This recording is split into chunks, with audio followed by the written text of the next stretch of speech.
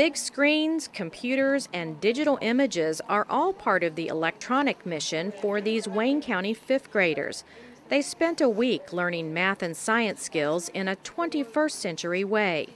Teacher Alan Perry says the e-mission was a great way to engage students. Students are just uh, working in groups. We put them in teams of uh, uh, five teams of five students apiece, and uh, they have to learn and become experts on different planets in the solar system. And, and what the e-mission is, is there's a lost spaceship somewhere in space, and they have to uh, learn all the data and be able to do calculations and things in order to rescue the, the spaceship.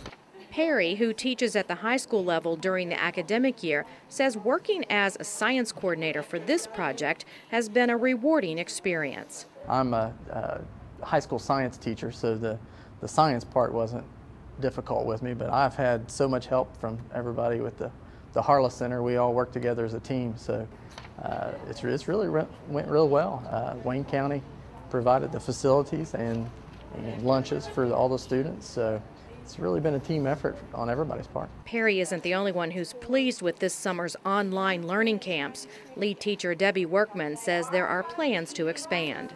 This is the first year that, that we have done Space Camp. It won't be our last. We're really excited about it. We got started a little bit late, um, but still have had uh, three full weeks of full camps. So have had a lot of interest for middle school, so next year we do hope to include middle school in our program. The June Harless Center for Rural Education is geared toward providing leadership in education initiatives to West Virginia's teachers and students with a specific emphasis on rural areas. For We Are Marshall Today, I'm Leah Edwards.